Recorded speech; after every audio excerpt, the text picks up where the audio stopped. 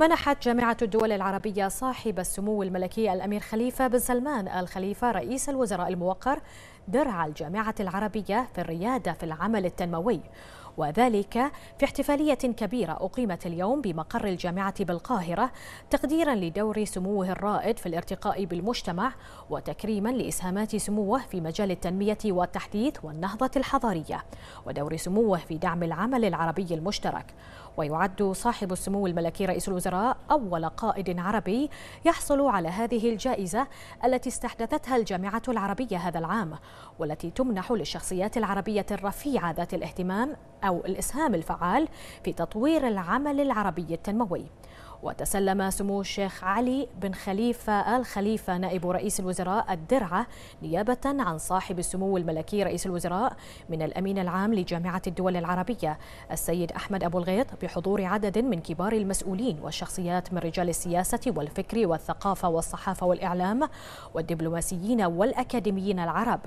وبهذه المناسبة أعرب سمو الشيخ علي بن خليفة الخليفة نائب رئيس الوزراء عن اعتزازه بتكليفه من قبل الوالد صاحب السمو الملكي رئيس الوزراء بتسلم درع الجامعة العربية للريادة في العمل التنموي نيابة عن سموه.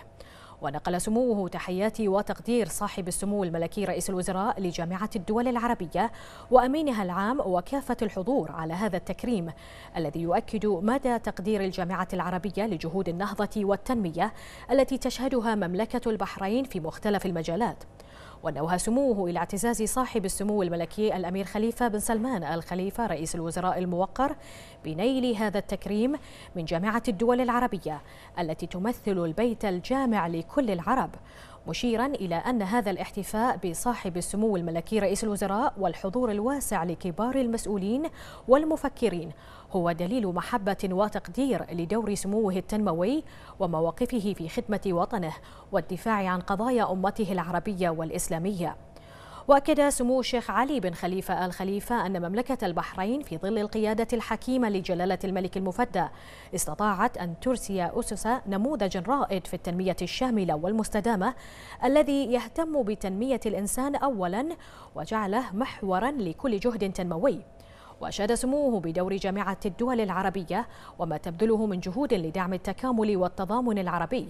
معربا سموه عن تمنياته للجامعة وأمينها العام بمزيد من النجاح والتوفيق في تحقيق ما تطمح إليه الدول والشعوب العربية من تطور ونماء يحقق للأمة العربية وشعوبها الرفعة والأمن والاستقرار. وكان الاحتفال قد بدأ بكلمة من الأمين العام لجامعة الدول العربية السيد أحمد أبو الغيط. بعدها عرض فيلم وثائقي عن صاحب السمو الملكي رئيس الوزراء وإنجازاته في مجال التنمية والتحديث في مملكة البحرين حيث نجحت البحرين في وضع منهج متوازن للتنمية الاقتصادية والسياسية والاجتماعية.